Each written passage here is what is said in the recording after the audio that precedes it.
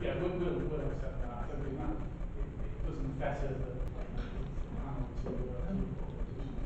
Generally felt that that's not, not a contentious. Okay, Phil, well done, you've got the through. Enjoy it while you can. It'll be a combination. On a roll. Unanimity. Can I, can I ask something else? Because everyone's, all this jewelry is breaking up. Can, can, can I just check, actually? So I know Ann mentioned the council earlier, or sorry, last week, that there would be a, a new staffing structure would be available by December to about those savings. Is it really possible, um, in order to, if we are to do this piece of work, in terms of the terms of reference that have now been agreed, is there, um, is it possible to do that without seeing what that new structure is? And Ann mentioned it will be available before December. Is there any chance this group will get to, to see that before? Chair, I don't, Consider next year, I don't have mean a- this quoted. What I think I actually said was that savings would be shown. No, I said savings would be brought forward from the senior management structure in the budget saving exercise. That's what I said. I didn't say the new structure would be coming forward, Chair. So how are we going to make the savings back in the be follows. current structure. Well, uh, in, in the absence of any positive um, alternative proposition, um, put it to the vote, and I'll be in favour. Well, Yeah, well, yeah. I mean, there, there are some savings that will, will, uh, be brought forward, uh, as, in terms of the current management structure. Um, and that's, um, through people who, uh, are taking voluntary settlements. We, we know that and, and, based on the criteria that has been agreed for voluntary settlements, um, we know that there are a number, Chris, looking for you to confirm that, who, uh, that we can, um, identify who are, are, are going to go on, on EVR, so, so we know that for fact. In, my, my view is, look, you know, the sensible way forward is, um, to, um, to complete the appointment of the new chief executive, and I think it makes perfect sense and logic the new chief executive, whoever he or she is, um, to have a, a you know, um, a, a look at the management structure, and because they will come with new ideas, undoubtedly. And so, so I think it would be, frankly, a bit daft to come up with a brand new, completely revised management structure now before we've appointed the new person. I think the new person should, quite rightly, be the person who gives us advice on what that should do. Okay, well, I mean, well, we, yeah, that's pretty good. Um, we I think first of all, we've been told there's one point five million that's are we saying in this, one point five million disappears, or are we saying we don't know how much?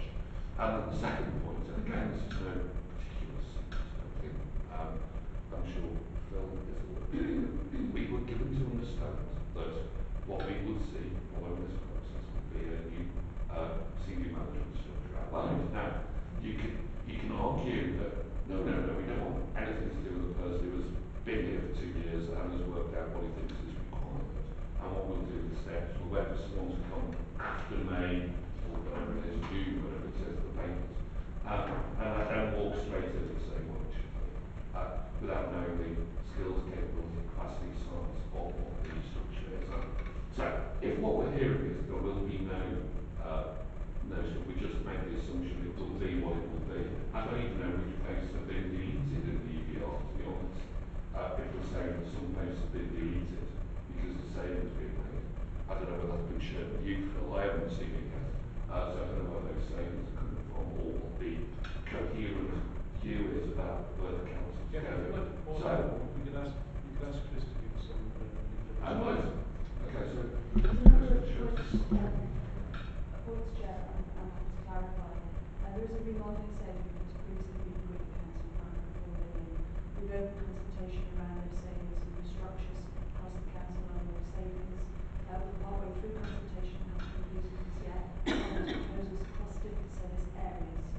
Over and above that, there is a further one point five million transfer savings for next year.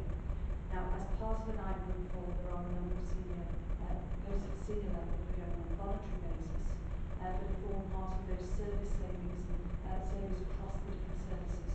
The one point five million is additional saving over and above that Yeah. for next year. yeah, think So next financial year, which means we have to have it agreed when we do the budget, or we forget the one point five. Maybe the for current, sorry, not former, yes, sorry, the current chief executive, now, because I'm, I'm starting to. I think Chris has explained that, uh, actually, that, that, um, assuming that next year, the council begins to say, well, we're filing, uh, from new senior manager structure, we've got hundred and eleven senior managers, and from that cohort, uh, I was confident, I think I'm still confident, that any future, future, uh, chief executive, moving forward structure will achieve, uh, that level of savings. I think that's quite a, a reasonable target, I'm confident that any moving forward will, will achieve that level of savings. And as Chris said, there are some in- individuals who are coming forward area that might allow you to make some and that's, that's not possible. but I don't know, that, that one, a useful saving, but again, I'm what my view is, my fact that, um, as I did when I arrived, any which executive should have the opportunity to put forward structure for members to consider. I I recall I put structure in the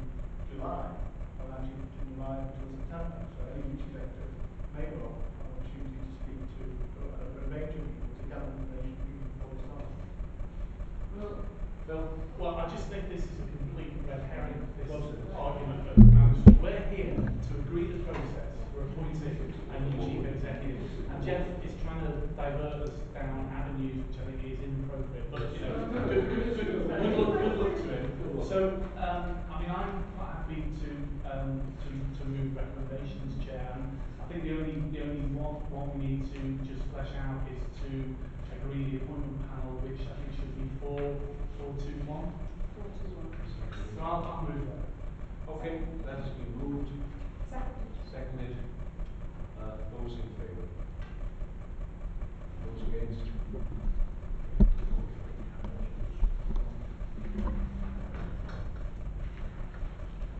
There you go, so we go on to the retirement of the specialist. Well, can I just ask you a question, Chair? Ask a question, In well, this- In the spirit of being helpful, I think.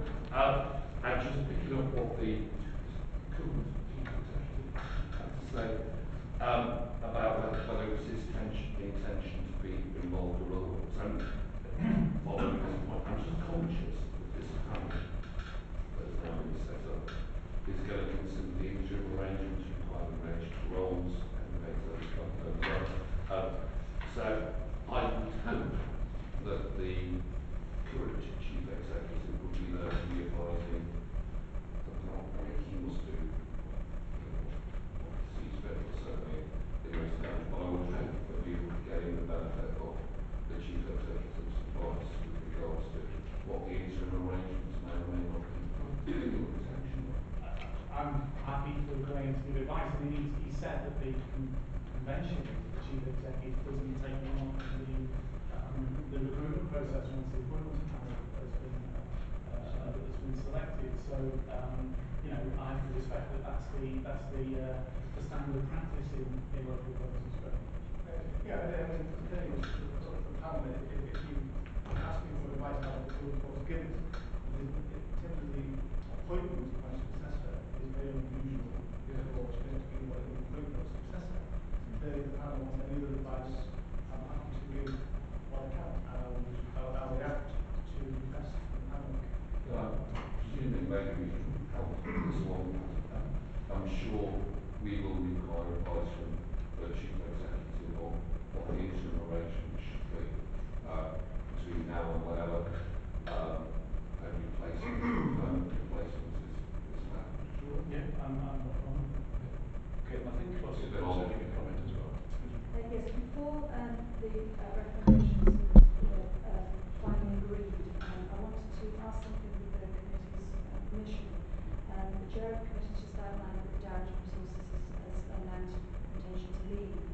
Um, and uh, rather than call further and appointments committee, again, with the committee's agreement, um, I would like to propose that we amend the recommendations to include setting up an appointments panel for the Director of Resources uh, have an amendment to recommendations and to the terms of reference with the committee's agreement if you wish to, to consider those tonight. That seems sensible. Oh, I've seen the job description. That'll come to the panel. The, the, um, the part of the terms of reference is for the appointments panel to see the job description of person spec and to amend and to agree the final version of those. So on We've that got, basis, sorry through you, Chair, we've got, uh, we've got a, a fairly, not a full, uh, job description for the chief executive as we have at the moment, we've got a pretty full job description for head of targeted services, haven't we? And So, uh, it, it just in terms of consistency, we haven't got one, we haven't got one, we need to move over, so. The, the, the, the intention was within the terms of reference is that the appointments panel agree that job description for the chief executive of paid service. With the amended recommendations, they would do the same for the director of resources. Okay. so that seems pretty straightforward. Phil, did you want to comment on that? Yes, um, This was, sorry, so, Hang so, on. hang on, we might have a legal one. It's just, uh, the pick up that the reference to director resources will include also the appointment of I was gonna, that's my other question. Yeah. Who, who appoints the section one, because I know deputy one four one officers are appointed by the chief executive, will he need from what I can tell. So, who, who does one who appoints the one five one officer? So, do we have at the moment? You have, uh, an acting one five one officer, continue to act whilst you have some posts. So you, so it's, so it is deputy, say, one one, so, uh, And Phil, you were trying to get. Yes, I will try to get. Um, what I'm, trying to follow on from what was said in the recent disagreement that occurred. Quite disagreement. but to put things back in context, you see. If we're looking at an interim arrangement with somebody who may or may not be from internal or maybe from outside, then whoever does that needs to have an idea, we need to have an idea of where the fires are breaking out, which is my way of explaining that some people may go, as has been suggested, and therefore that puts particular pressures in particular areas, and therefore takes the eye off the ball of whoever it may be, no names, no factor, whatever, but we may be considering people who are busy fighting fires breaking out below deck underneath them, and we don't understand the pressures that those people face when we're looking at interim matters. And therefore, it's about having attention fully on what needs to be done.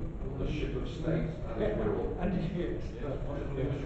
I need to understand when we meet what might be happening below, who might be going, so we can consider where the gaps are. You know, while I'm going along that corridor bailing things out with my buckets, you know. Yeah. Okay, I'm sure, I'm sure all that. will be- I think, I think we should first of all, to take Chris's recommendation on board. We happy with that? Okay. So, uh, sorry? It's not a problem, that's okay, so just so that clear, the, that, that any interim arrangements that not only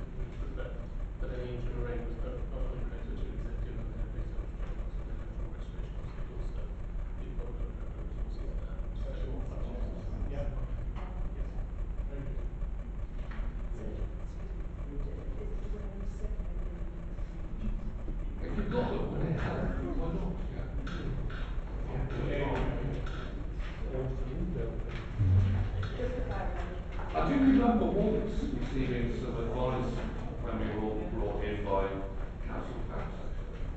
They told we shouldn't accept anyone who's been civil. We were trying to get away from things like that.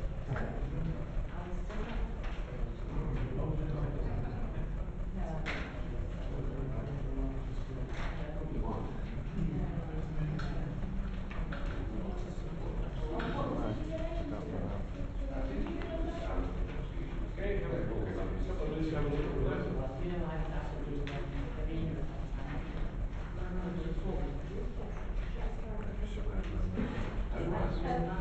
Okay, Chris will clarify where the amendments are.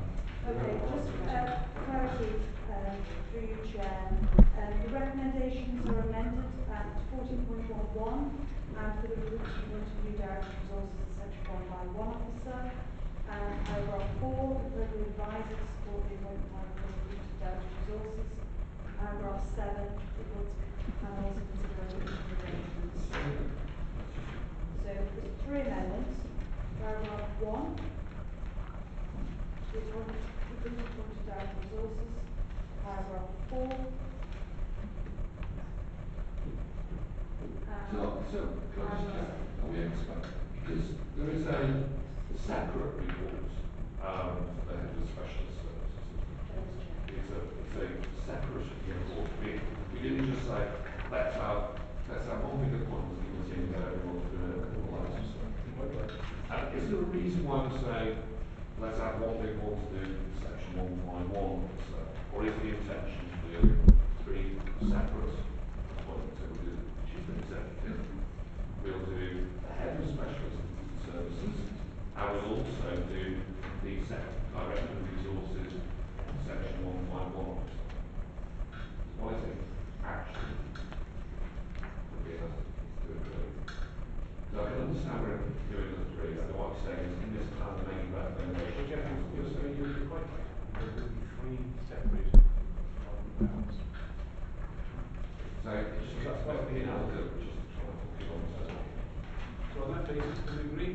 Yeah, can I move, I'll move the, the amended recommendation with the, um, amended terms of reference that Phil moved, which we, Three voting case. Is there a second? Seconded. Aye. We, okay, those in favour?